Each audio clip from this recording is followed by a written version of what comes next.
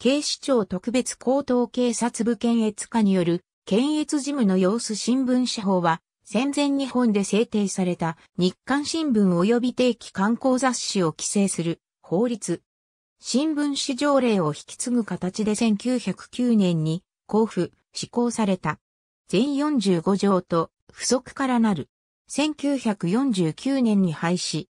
当時新聞を取り締まる法規として新聞紙条例が存在していたが、ジャーナリストたちはこれに強く反発していた。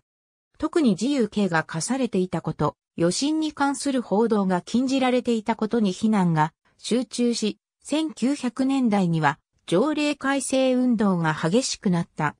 このような中、1908年新聞会出身である村松小一郎らが条例改正案を議会に提出。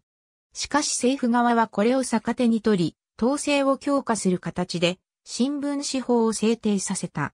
1909年5月6日、交付、即日施行。なお施行に伴い新聞紙条例は廃止された。新聞紙法の施行によって出版法と合わせ検閲が強化されていった。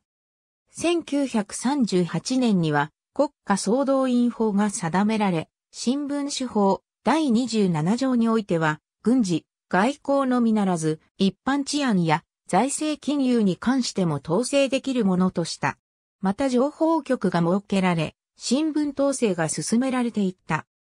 問題となった写真太平洋戦争の終結に伴い、日本を占領した連合国軍最高司令官総司令部は、1945年9月24日に新聞会の政府からの分離に関する覚書、同9月27日に新聞及び言論の自由に関する追加措置を発し、これにより新聞司法は事実上執行した。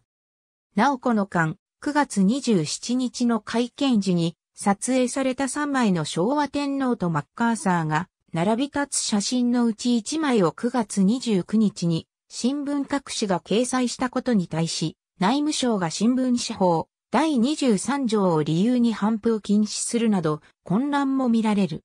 1949年5月24日、出版法及び新聞司法を廃止する法律で正式に廃止された。など、ありがとうございます。